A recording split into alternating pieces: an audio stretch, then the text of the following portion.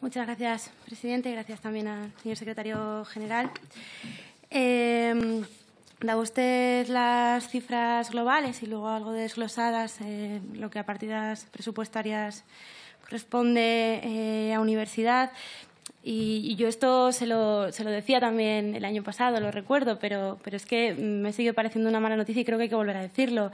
Eh, si comparamos de un año a otro, pues podemos encontrarnos con, con pequeñas mejoras, con pequeñas subidas en algunas eh, partidas, incluso en el global, pero todavía seguimos lejísimos de los 374 millones de euros de, de 2010, que creo que es hacia, hacia donde debemos mirar, porque claro, se oye últimamente mucho hablar al Gobierno de, durante este último año especialmente, de, recuperación y da la sensación de que, de que, la recuperación a determinados espacios no llega y uno de ellos es, la universidad y esto es siempre una mala noticia. Eh, sobre todo por, porque eh, da la sensación, mirando, mirando las cifras, de que, de que, el Gobierno no es plenamente consciente del papel fundamental que tiene nuestra universidad pública eh, de cara al futuro por un lado económico, por supuesto, del país, pero, pero, también de cara eh, a la sociedad y al futuro de, la sociedad española. Eh, y esto se entiende muy bien viendo el lenguaje que tradicionalmente se utiliza cuando, cuando hablamos de, lo que debería decirse inversión en educación, que se entiende como, como un gasto y en realidad no, no debería ser así.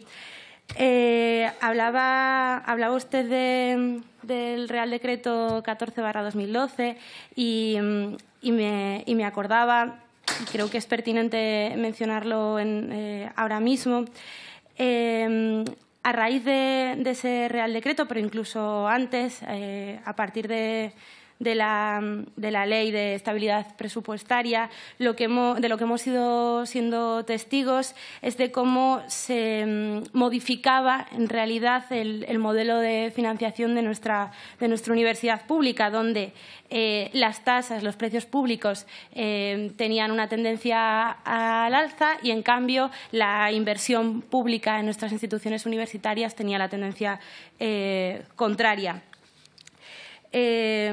Y esta tendencia, eh, mucho me temo, y ahí le quería insistir, que, sigue sin, invertirse en, absoluto, que se sigue reduciendo la financiación pública a las instituciones universitarias públicas y se sigue, eh, si no encareciendo, si por lo menos manteniendo el costo que, asume el propio, el propio alumnado, incluso aunque eh, se pongan pequeños parches que pueden ser positivos, pero que son insuficientes.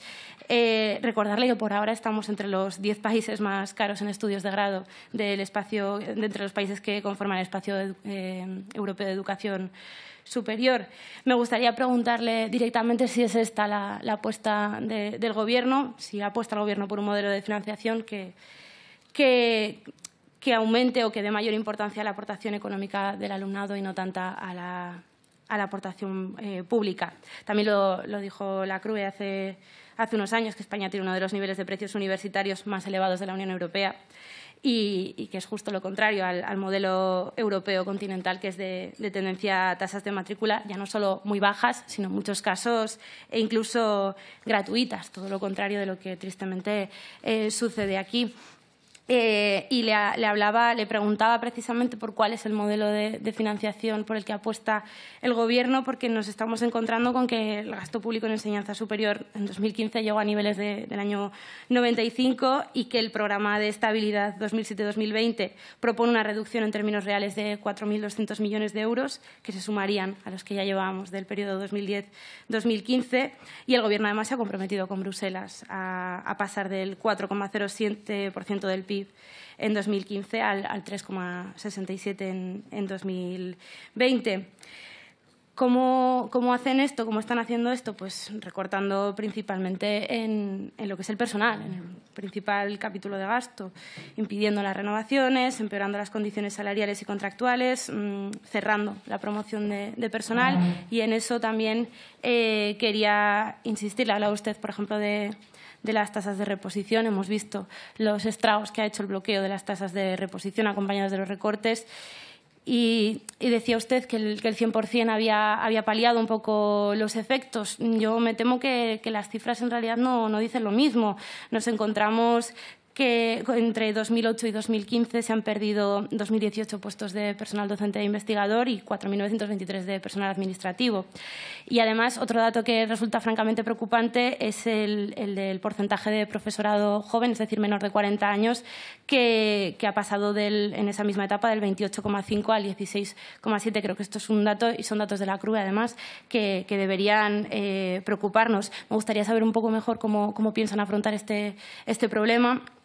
Eh, si, se va a mantener su política con respecto a la tasa de, reposición y, sobre todo, cómo pretenden acabar con, la cada vez más creciente precariedad eh, de nuestra universidad pública. Ahí mm, creemos que juega un papel fundamental eh, la cuestión del sistema de, acreditación, especialmente lo que corresponde al poder, a la posibilidad de hacer carrera docente o no. Hablábamos antes del envejecimiento del profesorado. Y, sí que quería preguntarle, porque no sé si es que no, le he oído bien, eh, si podría repetirme el dato de, la partida destinada a la NECA, porque me ha, sonado una cifra diferente a, la del anterior ponente, pero igual es que, es que no lo he oído bien y si pudiera repetirme el dato, se lo agradecería. Eh, por otro lado, y voy terminando, eh, quería preguntarle también por, la UNED. Ha mencionado los 70,5 millones y que, y que eso era una mejora eh, y que había que mejorar la financiación de la UNED. Y es una cuestión que también nos preocupa profundamente, lo infrafinanciada que, que está la UNED y que no sabemos realmente si son ustedes conscientes de la situación de absoluta precarización en la que se encuentra ahora mismo la UNED. Eh, sé que con todas estas cosas nos van a decir ustedes que, aporta la parte correspondiente al, Estado y que luego las comunidades autónomas ponen lo que, es de su competencia, pero claro, en el caso eh, específico de la UNED, pues estamos hablando de, algo que, depende de, ustedes. Su funcionamiento y mantenimiento como universidad pública depende del Gobierno. ¿Cree usted de verdad que, esta partida es suficiente? Y por otro lado, eh, nos encontramos, y, también quería llamar la atención sobre ello, eh, con respecto a la UNED, con un colectivo de 6.000 profesores y profesoras, los tutores, que, en realidad no están contemplados en las cifras porque pertenecen a una figura que, no existe eh, realmente. y, queríamos saber eh, si, la situación de, este profesorado se va a tener en cuenta, se ha tenido en cuenta y si no se está atendiendo a la hora de elaborar los, números y las diferentes partidas a todo este profesorado que, parece que, no existe y nadie se fija en él. Y termino eh, con esto, Presidenta.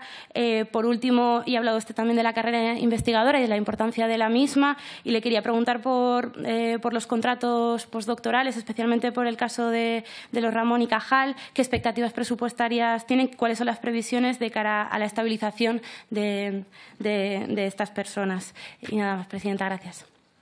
Gracias, señora.